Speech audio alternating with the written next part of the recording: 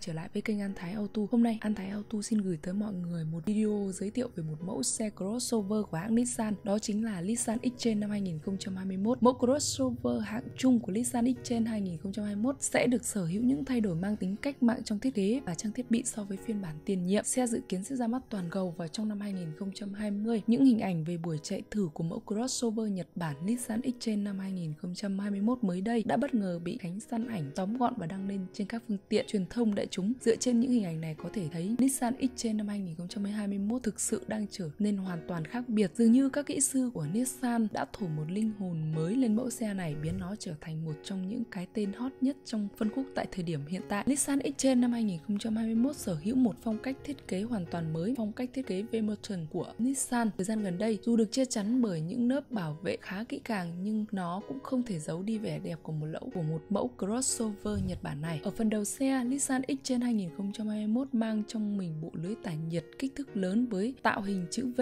biểu tượng của V-Motion, đặc trưng cùng các nan hình tổ ong truyền thống. Cặp đèn của X nay đã được làm theo dạng hai tầng riêng biệt cho hệ thống LED định vị ban ngày và đèn chiếu sáng chính. Đây cũng chính là phong cách và xu hướng thiết kế đèn của ngành xe toàn cầu thời gian gần đây. Ngoài ra, bộ cản trước của X 2021 cũng rất đáng chú ý bởi kiểu dáng chữ V ngược đối xứng với mặt ca lăng tạo một cái nhìn trẻ trung và đầy cá tính là một mẫu crossover 7 chỗ ngồi do đó trụ D của X trên 2021 được thiết kế khá cao. Điều này hứa hẹn sẽ tạo ra một khoảng không gian cho hàng ghế thứ ba của xe rộng rãi Ngoài ra, với kiểu tạo hình vuông vắn, x trên 2021 mang tới một diện mạo nam tính hơn. Phần đuôi xe của x trên 2021 cũng được thiết kế vuông vắn và đầy tính thực dụng cũng đèn hậu trên phiên bản mới này được thiết kế theo dạng nằm ngang, dường như nó khá đơn giản. Chưa hết, trên phiên bản 2021, bộ ống xả trên xe này đã được giấu xuống gầm thay vì làm ống xả thoát bề ngang như các mẫu xe khác. Về phần nội thất của xe, chắc chắn sẽ không làm các fan thất vọng với khoang cabin mang đậm ADN của công nghệ quả thực như vậy. Những hình ảnh dò dỉ cho thấy xe được trang bị tới hai màn hình LCD cho hai tác vụ công tơ mét và giải trí. Cùng với đó là kiểu thiết kế bằng điều khiển trung tâm dạng 2 tầng cùng với cần số điện tử.